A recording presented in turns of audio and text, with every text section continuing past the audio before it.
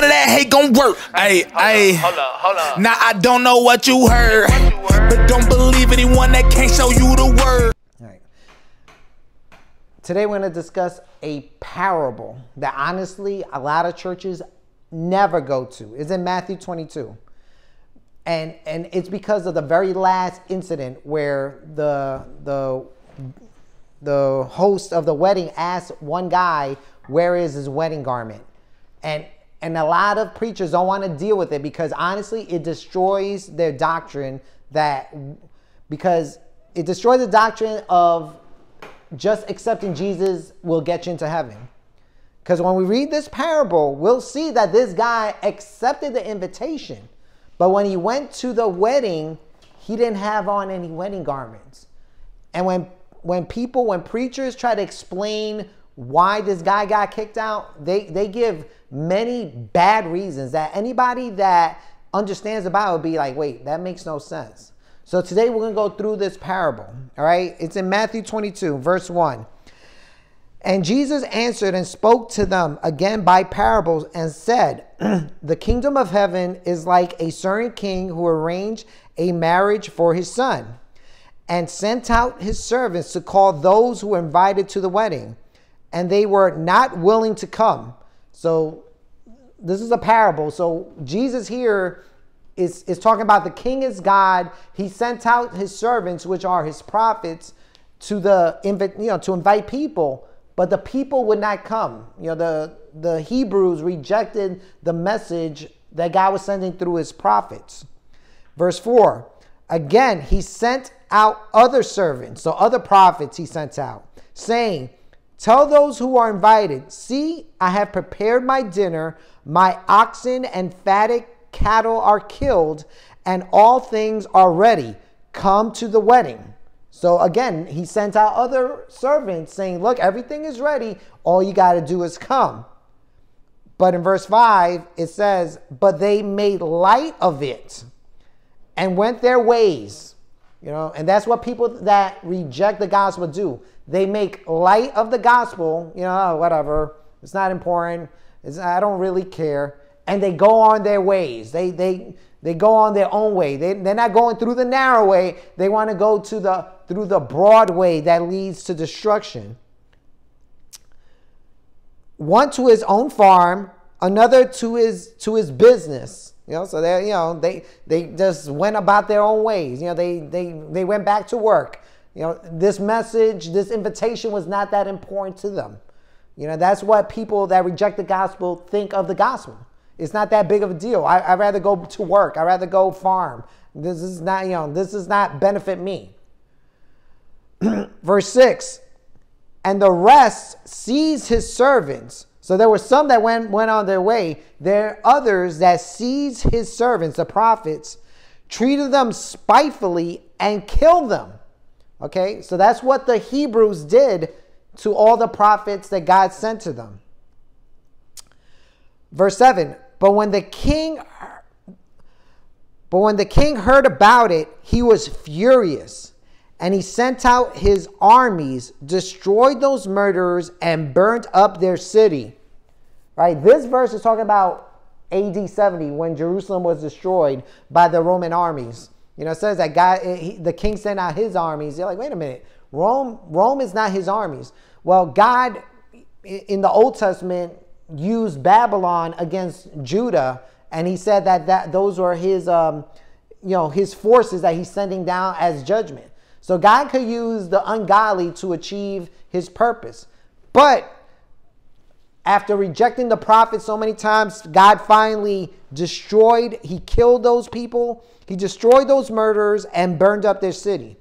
Verse 8 Then he said to his servants, The wedding is ready, but those who were invited were not worthy. So he said, Look, those those Hebrews were not worthy. You know, they, they had the invitation, but they rejected the invitation. Verse 9 Therefore, go into the highways and as many as you can find, invite to the wedding.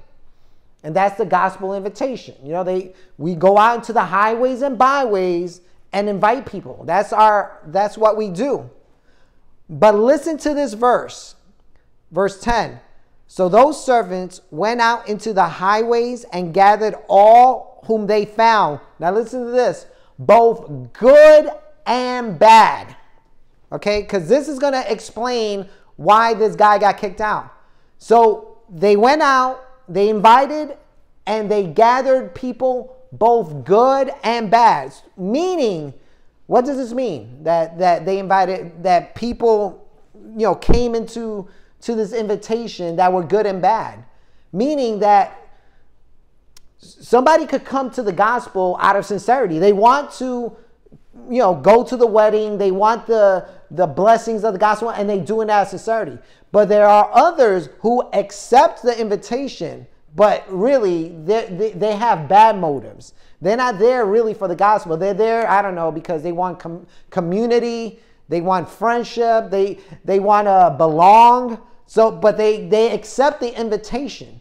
So Christians got to be careful that just because somebody says they're a believer or accepts Jesus or accepts the gospel, it does not necessarily mean that they did it for the right motives. You know, it might have been like Jesus talked about the parable of the sower. There were the seeds went out, and some landed on good soil, some landed on rocky, and some landed on bad soil. So you don't know what the condition of the person is that's accepting this invitation. The next verse, verse um, 11. No, in verse 10, I'm sorry. So those servants went on, oh no, okay. Wait, let me read again, verse 10. So those servants went out into the highways and gathered together all whom they found, both bad and good, and the wedding hall was filled with guests. So, you know, mission accomplished. This is what the king wanted. Verse 11 But when the king came in to see the guests, he saw a man there who did not have on a wedding garment. So the king finally came. This is the, the coming of Christ. The king finally came in. He saw all the guests. Now, what does this mean? He saw the guests. Remember, judgment begins at the house of God. You know, God's not going to judge the world out there first. He's going to judge his house first. So he came, when he came, the first person, people he saw were his guests. But he found one that did not have on a wedding garment. Verse 12. So the king asked that guy, friend. He called him friend, right? So that means he had a relationship with him. Friend, how did you come in here without a wedding garment? And he was speechless. So the, the, the king said, What are you doing? This is a wedding ceremony. You're coming in with flip flops and shorts. What's wrong with you? And the guy was speechless. Now the question is why he was speechless? Because he knew, he knew better. This is the he didn't just walk in like, oh, I didn't know, I didn't know what's going. He knew, he knew better. Now the question is, okay, let me keep reading. Verse 13. Then the king said to his servants, Bind him hand and foot, take him away, and cast him into outer darkness there will be weeping and gnashing of teeth. So basically, this guy without the wedding garment who accepted the invitation was bound hand and foot and cast into outer darkness where there'll be weeping and gnashing of teeth. So, so what's the you know? So what's the big deal? What what is God? What is Jesus trying to convey here? I mean, it's serious. I mean, this guy didn't have on a wedding garment. Now the question is, what is the wedding garment? If we go to Revelation 19, verse 8, I believe, right? Eight, uh, uh verse Revelation 18, verse 9. I'm sorry, I got it backwards. Revelation 18, verse 9. It says this. This is talking about Jesus' seven, second coming, and the, the bride has made herself ready for him, and the bride is coming to Jesus. And it says this And to her was granted to be arrayed in fine linen, clean and bright for the fine linen is the righteous acts of the saints. Okay? So that's the fine linen. What is the fine linen? The righteous acts of the saints. All right? So when we go back and apply this to this parable, the guy, the king is asking this man, How is it that you don't have on any wedding garment? Meaning, Where are your righteous acts of your saints? He had no righteous acts. This guy, he was one of those that accepted the invitation that were bad. And he thought because he accepted the invitation that, that he was in. And that's the danger that many Christians are in today. And mostly because of their false lying preachers out there that say, "Oh, you accepted Jesus. Praise God. You're saved. That's it. You're you that's all you need. You confess with your mouth." Here in Revelations 18, verse 9, it says that the fine linen is the righteous act of the saints. This guy didn't have on his wedding garment. You, you got to be arrayed in fine linen. This guy had no actions, no righteousness in him. And that's why he was cast out. You know, because if, if we take it literally, you'll be like, wow, so so so the king cast him out into other darkness, whether we weep and gnashing the chief for, for clothes? No, it's not for clothes, because he had no righteousness.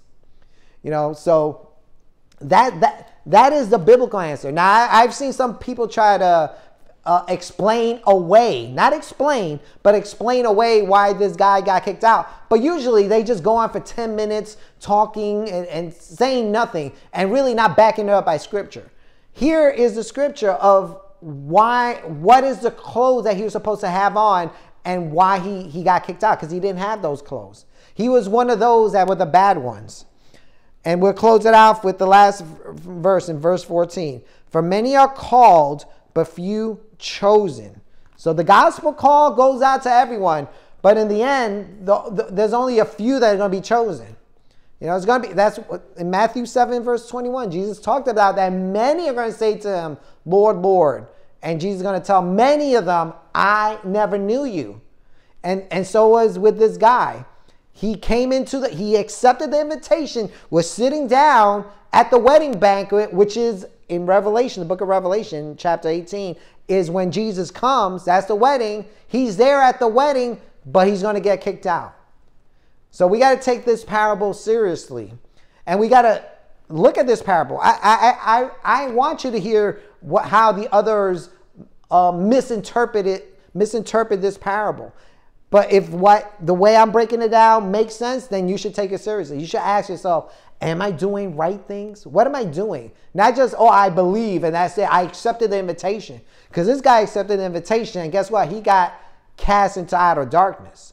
We got to make sure that we're living, like the, the book of Revelation says about those that went through the tribulation, that they had the testimony of Jesus and kept the commandments of God? Are you keeping the commandments of God? You know, are you doing what God tells you to do? Is there any unforgiveness in your life? Are you are you striving to love your enemies? Are you um, you know, doing do to others as you have, have done to you? Is there any root of bitterness? Because those things will disqualify you from the kingdom of God. Don't just hold on say, "Oh, I got the invitation. I accepted the invitation, and I'm going to the wedding." Yeah, you you you you got the invitation, and you will go to the wedding. But you don't want to go to the wedding, and then the master would say, "Friend, where is your wedding garment?" And then he kicks you out into utter, utter darkness, where there'll be weeping and gnashing of teeth. You know, so we got to make sure that our faith is based on the word of God, not on what some preacher half tells you. Say, "Oh, you accept the invitation, you're good." Because unfortunately, that I, I, this this guy probably thought too. He's like, hey, I accept the invitation. I'm good, so I don't care. I'll, I'll go in my flip flop and shorts to this wedding um, ceremony. Make sure, make your calling and election sure based on scripture, not on your own self delusion, not on some lying preacher. You got to have the righteous acts, like Revelations 18 9 says, the righteous acts of the saints is the fine linen. That's the garment that we're clothed with. Amen. Amen.